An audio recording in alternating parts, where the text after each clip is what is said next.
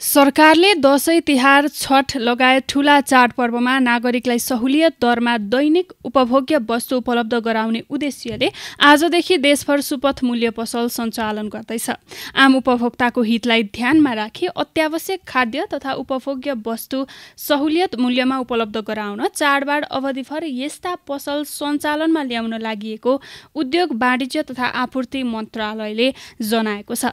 चाडबाडको समयमा उपभोक्ता बजारमा निजी क्षेत्रको एकाधिकार हुन नदिन भन्दै सरकारले हरेक वर्ष सहुलियत मूल्य पसल सञ्चालन गर्दै आएको छ। सरकारले उद्योग वाणिज्य तथा आपूर्ति मन्त्रालयको माथतका खाद्य व्यवस्था तथा व्यापार कम्पनी लिमिटेड र साल ट्रेडिङ कर्पोरेसन तथा कृषि तथा पशुपक्षी विकास मन्त्रालय माथतको दुग्ध विकास संस्थानको सहकार्यमा सहुलियत मूल्य पसल सञ्चालनमा ल्याउन लागेको हो।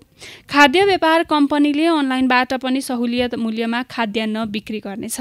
सुपथ मूल्य पसल सञ्चालन भएको पहिलो दिन थापाथली स्थित नेपाल खाद्य संस्थानमा आएका उपभोक्ताहरूको भने गुनासो धेरै सुनिएको छ। सामान लिन टोकन लिने व्यवस्था भए पनि एक दुई घन्टा कुर्नु परेको उनीहरूको गुनासो छ।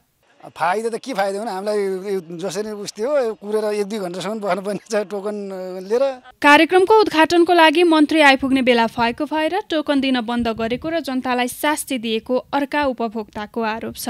अनि त्यो मन्त्री आउने उहाँले ग्राहकहरू यहाँ सामान चाहिने मान्छेहरूलाई चाहिँ नि दुःख दिएको यो। अनि एउटा पसल एक ठाउँमा राखिदियो त्यहाँ भिड हुन्छ अनि त्यहाँका जनतालाई दुःख।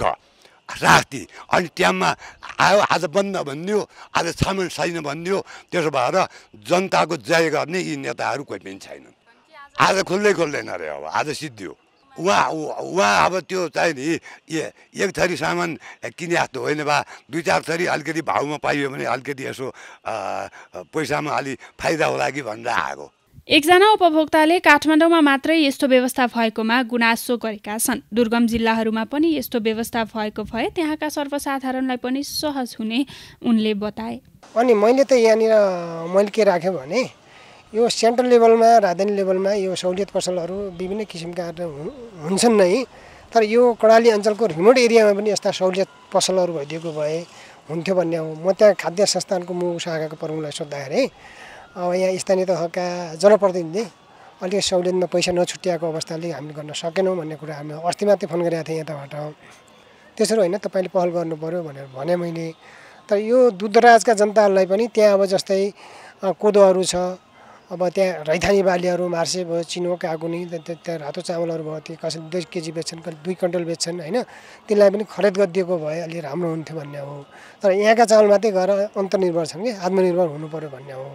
यो चाहिँ अब नेपाल सरकारको खाद्य संस्थानका कम्पनीले पनि व्यवस्था गर्नुपर्ने हुन्छ लाग्छ मलाई। सहुलियत पसल सञ्चालन भएसँगै थापाथली स्थित खाद्य व्यवस्था तथा व्यापार कम्पनी लिमिटेडमा उपभोक्ता भने न्यून देखिएका छन्। पसलबारे जानकारी पाएपछि उपभोक्ता बढ्ने अपेक्षा भने गरिएको छ।